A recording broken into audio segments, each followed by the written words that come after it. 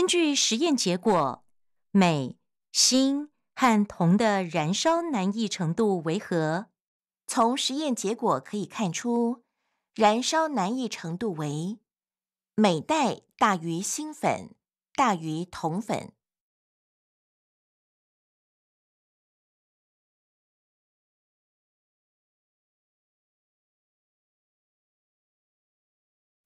比较镁、锌和铜受热后的变化有何不同？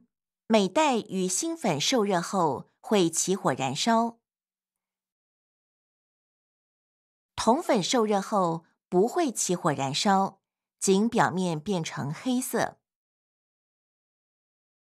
比较镁、锌和铜燃烧生成物水溶液的酸碱性有何不同？镁的燃烧生成物略溶于水，使水溶液呈碱性；锌的燃烧生成物微溶于水，使水溶液呈微碱性。